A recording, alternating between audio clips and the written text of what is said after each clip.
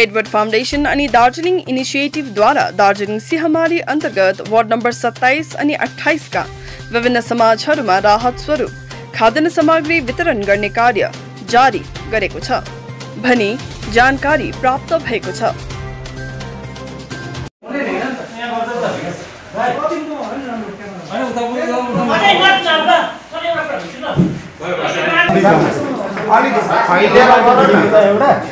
अलिक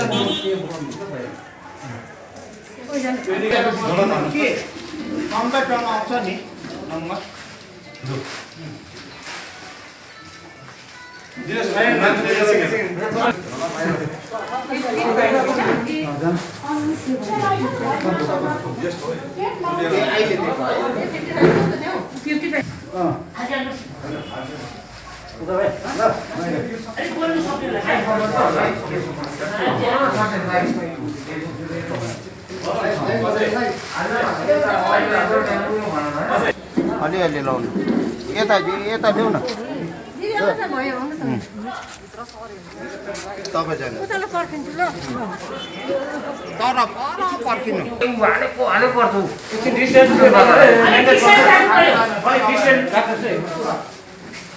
हुन्छ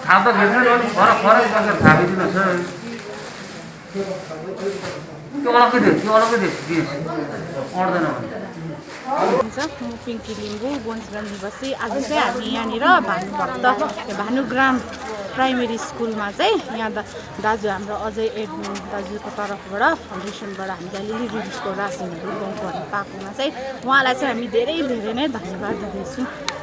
म मगन मुकुल राई आदर्श ग्राम समाजका सभापति तपाईँलाई यो सूचित गर्न चाहन्छु कि आज दिनाङ्क एघार छ दुई हजार बिसको दिन एडवर्ड फाउन्डेसनको तत्त्वावधानमा यहाँका हाम्रो सोसाइटीका वार्ड नम्बर अट्ठाइस र सत्ताइसलाई लिएर एक जोइन्ट हामीले एउटा राहत सामग्री वितरण गर्न लागिरहेका छौँ र यसका लागि एक सौ एक सौ परिवारलाई हामीले एउटा वितरण गर्न लागिरहेका छौँ। यसका लागि हामी एडवर्ड फाउन्डेसनको लागि हामी धेरै नै कृतज्ञ छौँ।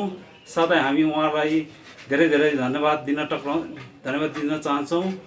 र र यसरी नै हामी हाम्रो जुन चाहिँ पिपिआर परिवारलाई जसरी उहाँले सहयोग गर्नु गरिरहेको छ र उहाँलाई पनि यस ईश्वरले उहाँलाई पनि आशीर्वाद दिइरहँ भन्ने हामी आदर्श गाउँको समाजको सभापति साथै हाम्रो समाजका सदस्यहरूको तर्फबाट उहाँलाई धेरै धेरै धन्यवाद टक्राउँदछौँ आज सत्ताइस अनि अट्ठाइस नम्बर वार्ड सिंहमारीमा आज यो खाद्यान्न राहत सामग्री वितरण भइरहेको छ।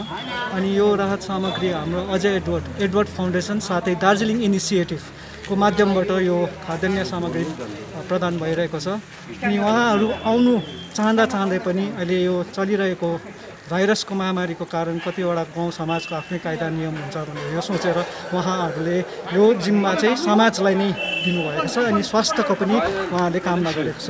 अनि हामी पनि यो सम्पूर्ण सिंहमारी सत्ताइस अट्ठाइसको यो समाजहरू उहाँपट्टि आभार अनि कृतज्ञता अर्पण गर्दछौँ। साथै उहाँको सुस्वास्थ्य अनि दीर्घायुको पनि कामना गर्दछौँ। साथै नम्रता एडवर्डको पनि सुस्वास्थ्यको कामना गर्दछौँ। यति भन्दै मेरो यो छोटो वक्तव्य धन्यवाद। यो सत्ताइस अनि अट्ठाइस सिंहमारी वार्ड यहाँ हाम्रो डाइसिङदेखिको फ्राइमल यता फाटक भानुग्राम भोटे गाउँ आदि अनि लिम्बू गाउँ यो समाजहरू थ्याङ्क यू